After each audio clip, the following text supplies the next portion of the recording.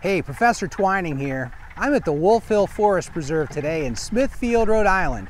I came here because there are a number of vernal pools on this conservation land and I wanted to see if there was any evidence that amphibians had started moving towards the pools to breed.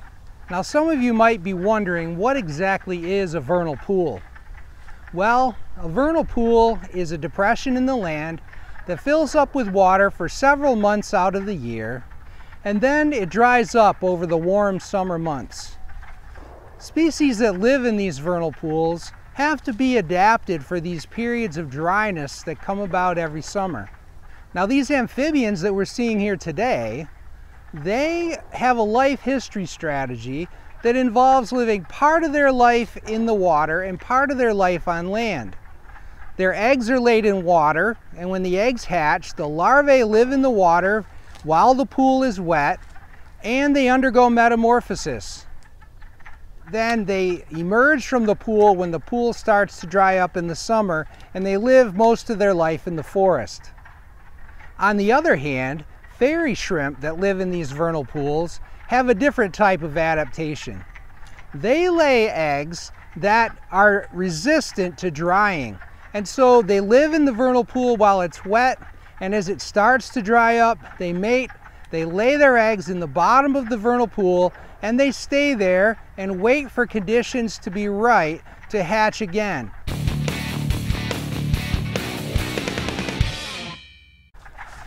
I'm out here with my camera in the middle of the vernal pool, and I am just surrounded by wood frogs. Most of the ones that I'm seeing are male wood frogs probably just started coming down last night or this morning and they're in position calling waiting for the females to arrive. Females will probably come later tonight or maybe even tomorrow when the rains come.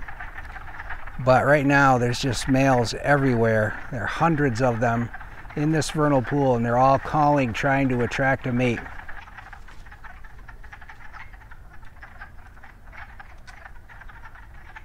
Well, now that I've checked things out, I think I'm going to come back tonight. Certainly the male wood frogs are here, and the females are likely to be migrating later on tonight and tomorrow night. So I'm going to come back out and we're going to take a look and see if we can see the wood frogs starting the breeding process, and maybe we'll even see some spotted salamanders in their spermatophores tonight.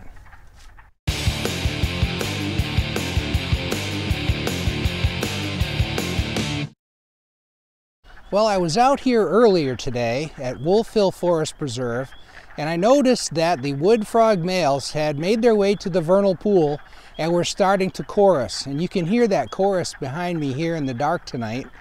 I decided to come out here at night because amphibian activity is usually greater in the evening hours. And sure enough, the wood frogs are calling. And I did see a few spotted salamanders, although there are not very many in the vernal pool as of yet.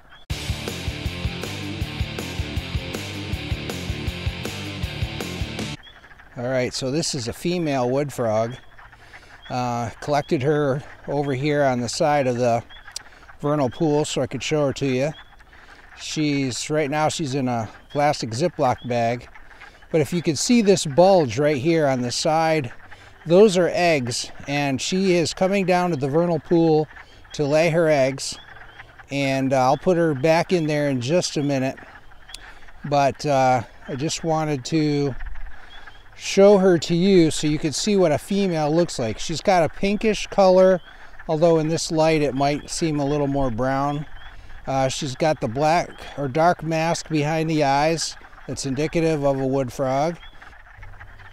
Maybe now you can see the bulge of eggs on her side that she's getting ready to lay. I'm going to get her back into the vernal pool so she can find her fella and she can go about laying eggs. Beautiful animal.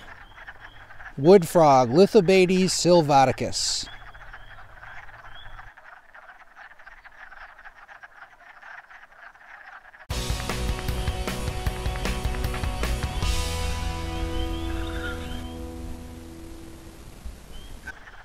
So I have here a couple of male wood frogs. But you can see that the male wood frog is smaller than the female. It's darker in color. So these guys are kind of on station out there in the vernal pool. And they were uh, quiet when I was by them, but they were calling for sure, just like the ones you can hear in the background here. They're calling for a female, and the females are just starting to arrive. I saw one a little bit earlier. These uh, male wood frogs are calling to attract a mate, and when they find her, they will grasp her in a position called amplexus. This frog right here is exhibiting a posture that they use to um, warn off other males. And because there's another male in here, I suspect this might be the first male that I put in the bag. And he's telling the other one, uh-uh, this is my bag for right now. And uh, that posture, that upright posture, is one that they use as a sign of territoriality, of dominance, and so on. Okay, so that's a male wood frog in my hand. And uh, he is, you can see there's uh, some bands on his forearm. Uh, I've seen that on a lot of males. He's darker in color than the female was um, much darker brown compared to the female, which was a more pinkish orange color. You can barely see the um, mask behind the eye. He's got the dorsolateral ridges on the back. Much smaller than the female as well. And very, very active. He wants to be out there breeding, so I'm going to let him go.